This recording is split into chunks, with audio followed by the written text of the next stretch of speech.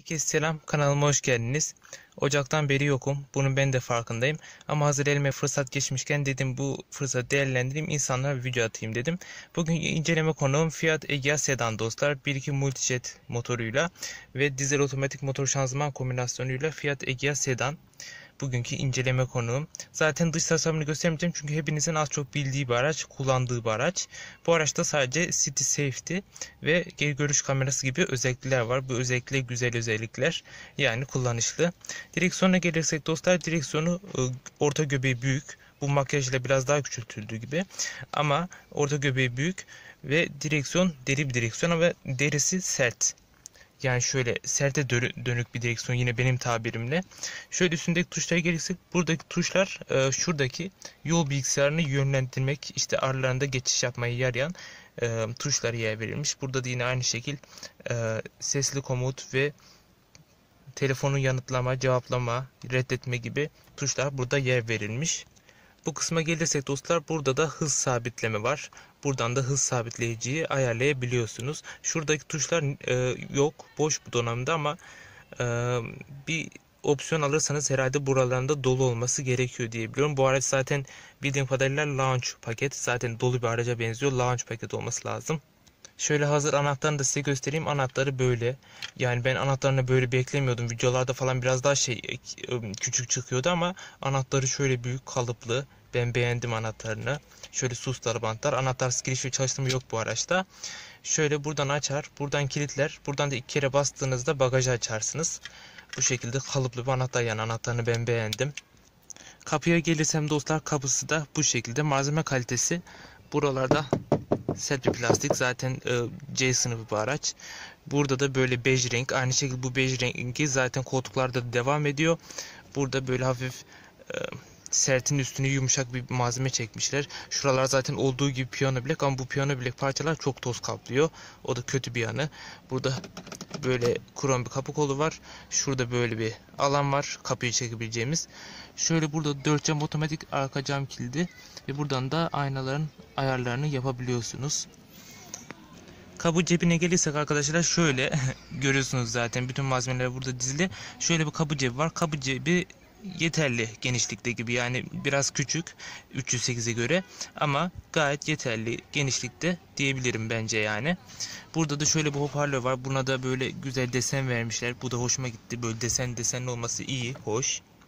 Ama benim bu araçta dostlar tek sevmediğim e, bir özelliği de buraların yani bu e, plastik malzemelerin şu göğüs göğüs kısmının böyle ve aracın bütün her yerinde böyle bu damarlı yapıların olması. Ve bu damarlı yapıları sevmiyorum dostlar. Aracı yaşlı gösteriyor. Yani bu benim düşüncem. Siz ne dersiniz bilmem ama aynı şekilde şu art, altlarda da var torpidonun alt kısmında. Bu damarlı yapıları ben sevmiyorum dediğim gibi. Aracı yaşlı gösteriyor. Şöyle direksiyon hemen bu tarafına gelirsek burada yine havalandırma menfezleri var şöyle sağa sola ayarlanabiliyor. Bir tane de buyu gidermek için bir havalandırma menfezi var. Şu kısma gelirsek e, bu kısımda şurada bir tuş yok. Şunlar zaten e, farların konumlandırması. Yukarı aşağı alçaltıp yükseltmesi. Şunlar sis farlarını ayarlar. Şu ESP'nin aktif pasifi yani çekiş kontrol sistemi. Şurada lastik basıncını e, kaydetmesi oluyor. Şuraya gelirsek şurada da şöyle bir ufak ama derin bir eşya göz var. O da hoş bence. Şöyle kadranlarına gelirsem arkadaşlar aracın kadranları da bu şekilde. Bu tarafta devir var. Şu tarafta hız var. Ee, şu tarafta şu ne kadar görüyorsunuz valla bilmiyorum ama gösterebildiğim kadar şu kısımda hararet şu kısımda da habire heh, şu kısımda da yakıt ortasında da bir zaten e, gösterge ekran var. Hatta o ekranda size şu şekilde anahtarı şu şekilde takarak göstereyim. Bu arada anahtarın yeri de sürücüye doğru konumlandırılmış. O da hoş bir detay. Şöyle anahtarı takayım.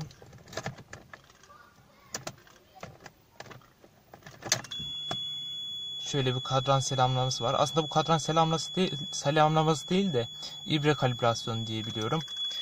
Şöyle ne kadar net görüyorsun bilmiyorum ama ekranlar arasında bu şekilde de geçiş yapabiliyoruz. Şu an kapatayım çok bağırıyor. Heh. Şuraya gelirsek de bunları anlattım mı bilmiyorum ama bunlar da farların açıp kapatması. Burada o otomatik far da varmış. Otomatik farlar işte açıp kapatması buradan yapıyoruz farların. Şu şekilde.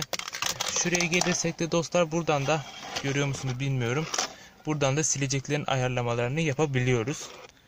Buraya gelirsem burada da şöyle kaç inç olduğunu bilmediğim bir ekran var. Şöyle açayım hemen ona da bakalım. Şöyle fiyat logosuyla bizi karşılıyor. Şöyle bir. Arkadaşlar e, ekran hassasiyeti gayet iyi bence. Ben beğendim. Şöyle buradan radyo diyorsunuz. Buradan sesi kapatıyorsunuz. Ve yine bir radyo diyorsunuz. Ekran hassasiyeti bence iyi. Buradan da bastığınızda zaten ekranın kendisi kapanıyor. Şuradan da geri yapıyorsunuz. Buradan da şöyle ayarlara giriyorsunuz işte. Motor durdurma, konfigürasyon, kişisel verileri sil gibi ayarlar burada yer alıyor. Yani ekranın renkleri, hassasiyeti güzel, iş görür. Ses sistemi de güzel, tatmin eder. Gayet iyi bir ses sistemi var. Yani en azından ihtiyacınızı karşılar. Şöyle kapatalım. Ekranda bu şekil. Ekranı zaten ben seviyorum. Renklerini, tonlarını hoşuma gidiyor. Alta gelirsek şu alt kısımda böyle yine havalandırma ızgaraları var. Şurada zaten bir alüminyum krom geçiyor. Şurada bir sit modu var. Bu sit modu direksiyonu yumuşatıyor. Bu bagajı açıyor. Şu şöyle biraz sesli kilitleniyor ama merkez kilidi burada. Dörtlü flaşör hava yastığını kapatıp açması. Buradan şu auto start stop olması lazım. Şuradan da eco modunda alabiliyoruz. Burada da arkadaşlar tek yönlü bir dijital kliması var. Tek yönlü bir dijital klima. Tabi onu nasıl şu an gösterebilirim bilmiyorum ama buradan derecesini şuradan da üfleme hızını ayarlayabiliyoruz. Buradan yine açıp kapatabiliyorsunuz. Şu tek yönlü dijital, dijital bir kliması var. Tek yönlü. Şuraya gelirsek de biraz parça parça ilerliyorum dostlar. Kusura bakmayın yapabildiğim kadar imkanlar kısıtlı olunca. Şöyle bir eşya gözü var burada. Şurada hmm, 12 voltluk bir çıkış var. Yanında ise AUX ve USB çıkışlarını görüyorsunuz. Type-C yok zaten. Ee, makyajlısında ve varsa vardır. Bunda yok. Şöyle normal genişlikte bir alan var. Şöyle otomatik şanzımanın burada kendisi kolu burada. Şöyle park geri N, D ve şu yana çektiğinizde de buradan da manuel moda geçiş yapabiliyorsunuz. Ee, kolu güzel dostlar. Kolu güzel şöyle göstereyim. Şuradan geçiş yapabiliyorsunuz böyle tek tek bastırarak. Şuradan da böyle bunu çıt çıtlı açılabilir yapmışlar ama bunu neden yapmışlar anlayamadım. Biraz saçma olmuş o kısım. Şöyle buraya gelirsek de burada manuel bir el frenini görüyorsunuz. Bu elektronik değil. Galiba makyajlısında da elektronik değildi. Şöyle bozu para var gördüğünüz gibi.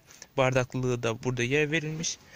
Şuraya gelirsek de burada bir kol dayama var. Üstü yumuşak. Gayet yumuşak. Yani işinizi görür. Şöyle ileri geri ayar var. Biraz sert oluyor bu. Şöyle.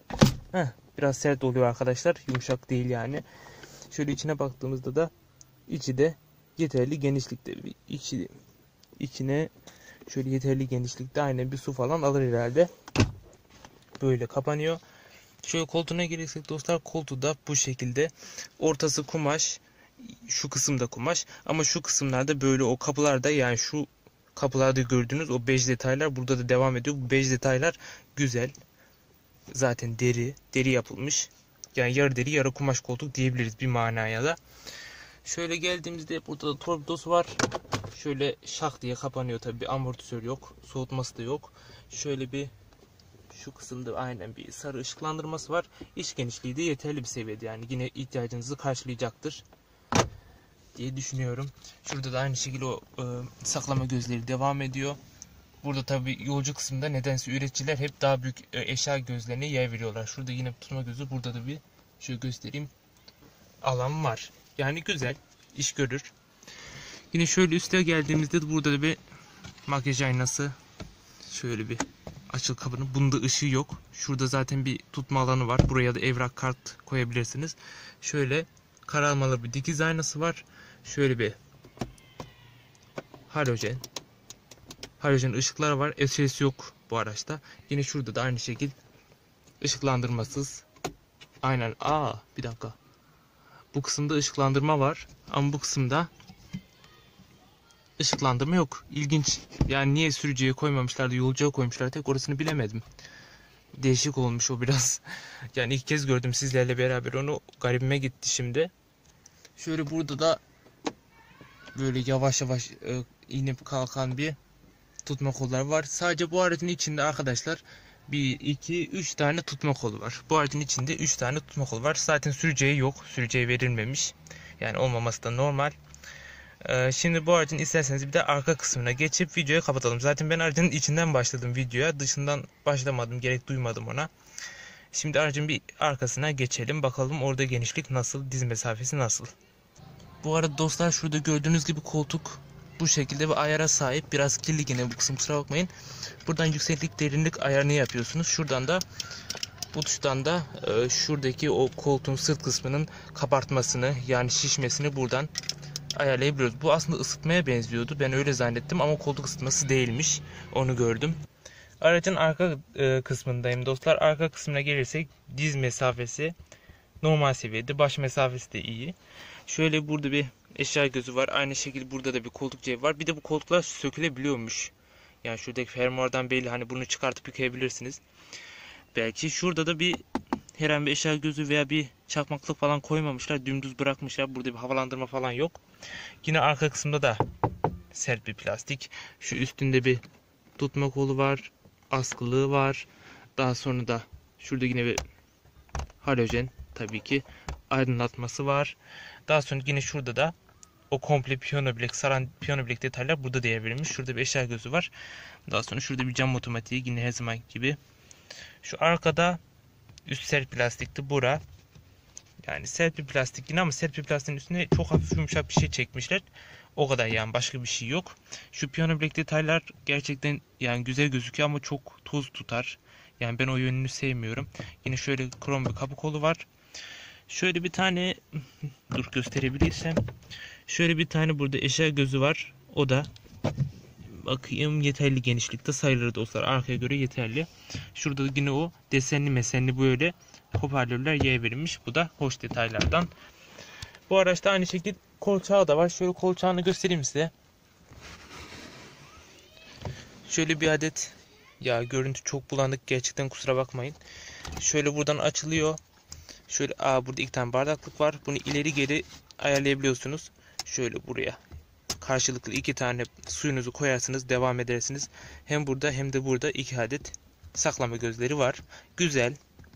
Bu ileri itiliyor mu? Heh. Şöyle kapıyoruz. Üstte yumuşak bir kumaşla kaplı. Aa buradan bagaja bagaja erişim yokmuş. Tabi bagaj erişim yok. Şöyle 3 tane de kafalık koymuşlar. Normal, güzel. Şöyle bir önden görünüşüne bakayım. Siz de bakın. Şöyle. Biraz dediğim gibi arkadaşlar peltek bir video olmuş olabilir yani. Neticede şey e, imkanlarım gereği yapıyorum. Yani şöyle göstereyim size de. Ha bu arada şurada şöyle ufak bir şaft tüneli var. O da ne kadar sizi etkiler bilmiyorum ama yani Alman araçları kadar değil en azından. Hani şuraya kadar değil. Birazcık o kısa. O da iyi. Daha sonra bir de kafalıkların şurası da şey. Deri. Şu yan kısım kumaş. Bu kısım 5. Aynı şu detaylar. Bakın şu detaylarla aynı. Bunlar bu kahverengi detayları ben seviyorum. Bu araçta bir dakika şimdi 1 2 3 4 5 6 6 tane airbag varmış. Onu da şimdi saymış oldum. Şöyle bir tane tavanda burada da aynı şekilde koltuklarda ve ön e, iki kısımda alt hava yastığı mevcut toplamda. Kısaca içi bu şekildeydi dostlar. Bir de aracın bagajına geçelim sonra öyle bitireyim bari videoyu. Şöyle aracın bagajı biraz dağınık. Size şöyle göstereyim. Şurada bir ışık varmış gibi. Aynen şurada bir ışık var. Şöyle. Tabi şu kollar açık dostlar. Bu kolları kapamamışlar. Şurada bir tutma kolu da yok. Bir tutma kolu olabilirdi. Bagajda genişliği iyi. Litresini bilmiyorum ama genişliği iyidir. Ağır bir bagaj. Bir tık ağır gibi ama normal. Şurada bir anlayamıyorum. Egealar, Egealar da bunu yapmışlar ama yani herhalde bagaj aman şu kabın açılıp kapanmasını kolaylaştırmak için mi yapmışlar orasını bilmiyorum. Şöyle kapıyı açtığınız zaman da bir tane fiyat logosu yazıyor. İşte kilometresini falan gösteriyor size. Kısaca dostlar bugün böyle bir video oldu. Dediğim gibi biraz eksik yarımlı olmuş olabilir. Hani ben arada böyle böyle mecbur telefonu çektiğim için arada böyle böyle olmuş olabilir. Onun için kusura bakmayın lütfen. Yani çünkü zaten sıcak hava bir de hani az çok bayramda bir de bu çekimi yapıyorum. Biliyorsunuz az çok yani nedenleri. Onun için de kusura bakmayın. Hmm, Dediğim gibi kendinize çok iyi bakın. Hepiniz kendinize iyi bakın. Görüşmek üzere.